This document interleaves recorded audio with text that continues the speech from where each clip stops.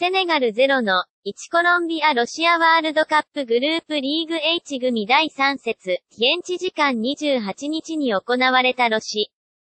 アワールドカップグループリーグ H 組第3節のセネガル対コロンビアは1の0でコロンビアが勝利した。